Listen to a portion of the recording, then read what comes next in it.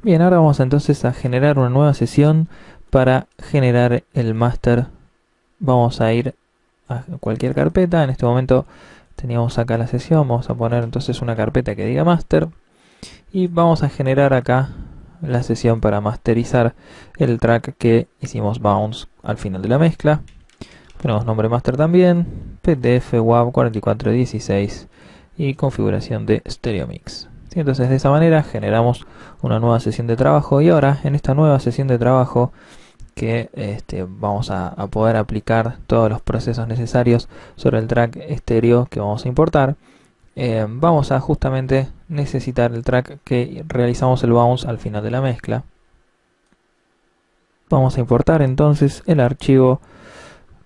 Vamos a ir a import audio.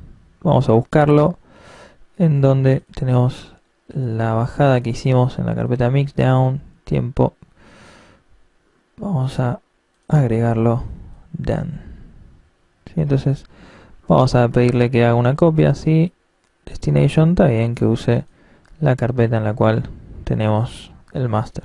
Entonces de esa manera estamos importando el track de audio y ahora vamos a ver que tenemos varias maneras de, de trabajar, pero lo ideal va a ser que lo apliquemos en una nueva, nueva pista, new track, al comienzo, damos OK, y ahora sí vemos la ventana. Tenemos en un, en un track estéreo toda la mezcla que ya habíamos realizado. Vamos a escuchar.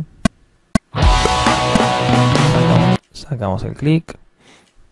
Vamos a, podemos borrar este track y ahí ya tenemos